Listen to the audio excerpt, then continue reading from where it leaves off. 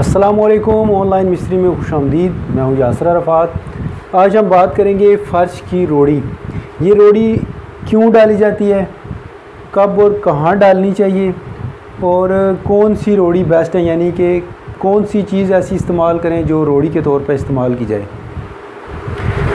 फ़र्श की रोड़ी क्यों डाली जाती है? फ़र्श की रोड़ी इसलिए डाली जाती है कि ज़मीन को कम्पैक्ट करना मकसद होता है कि ज़मीन को सख्त करना।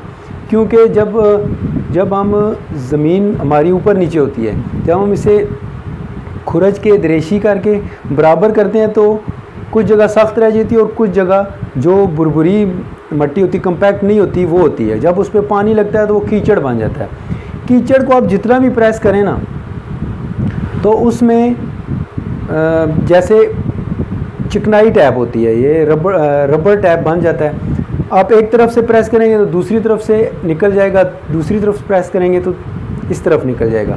तो इस चिकनाहट को ख़त्म करने के लिए हम रोड़ी का इस्तेमाल करते हैं। रोड़ी का इस्तेमाल करके ऊपर से कंपैक्ट करते हैं, जो ये मट्टी में मर्ज होके फर्श सख्त हो जाता है। आपने रोड कंस्ट्रक्शन में देखा होगा कि वो पहले बड़े बड़े पत्थर डालते हैं। पत्थर डाल के उन्हें रूलर के साथ प्रेस किया जाता है, फिर उसके बाद उससे छोटे पत्थर डालते हैं ताकि जो मट्टी बाहर निकली है उनसे पत्थरों के कोनों, किनारों से, उसे भी वो कंपैक्ट कर कंपैक्ट कर दें। फिर उसके बाद बारीक बजरी डाली जाती है, गहरा टैप, और उसके बाद रोड डाला जाता है।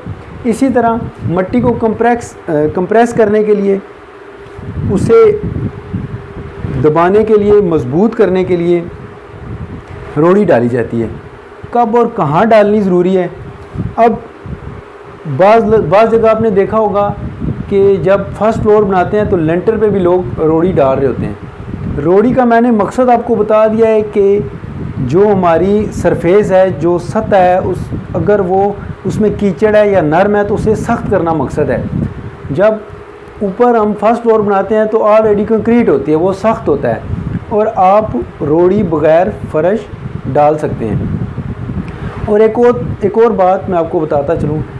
यहाँ पे मालूम देने का मकसद ये है कि आपका ख़र्चा भी कम हो और आपको लॉजिक भी दी जा रही है। अब आपको मिस्त्री कहेगा, नहीं जी, ऊपर भी रोड़ी डालते हैं। तो आपने पहले तो तसल्ली कर लें कि जो मैं, जो मेरे पास इंफॉर्मेशन है, जिसके मुताबिक मैं काम करवा रहा हूँ, वो ठीक है।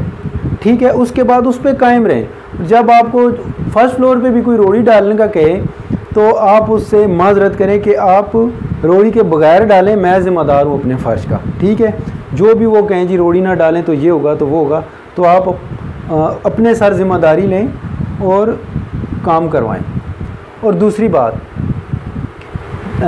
कि कौन सी रोड़ी बेस्ट है? यानी कि क्या ज़रूरी है कि जो ईंट के पत्थर टोटे हैं, ईंट है, इसे कूट के ही रोड़ी बनाया जाए और फिर इस्तेमाल किया जाए?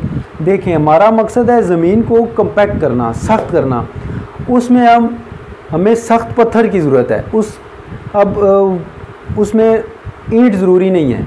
उसमें आप पहाड़ का पत्थर इस्तेमाल कर सकते हैं, वो दरियाई पत्थर होते हैं, गोल वो पत्थर इस्तेमाल कर सकते हैं, आप गहरा इस्तेमाल कर सकते हैं। अगर आपके पास वाफर मकदार में बजरी है तो आप वो इस्तेमाल कर सकते हैं। बजरी तो कोई नहीं डालता, काम महँगा पड़ जाता है। अब मकसद हमारा ज़मीन को सख्त करना है। अब कोई भी पत्थर, आप वो पत्थर इस्तेमाल कर सकते हैं, सकरोड़, जो मिट्टी की एक किस्म होती है, लेकिन वो पानी लगने से घुलता नहीं। हाँ एक बात याद रखें, रोड़ी में वो चीज़ इस्तेमाल करनी है, जो पानी लगने से घुले ना। ये ना हो कि आप सख्त मट्टी के डले डाल दें और मट्टी को सख्त कर रहे हैं, लेकिन अब जब पानी लगाएँ तो फिर दोबारा कीचड़ बना हुआ हो। तो ये थी हमारी आज की वीडियो। उम्मीद करते हैं ये वीडियो आपको पसंद आएगी। एक और मालूमती वीडियो के साथ फिर हाजिर होंगे। तब तक दीजिए हमें इजाज़त। अल्लाह हाफिज़।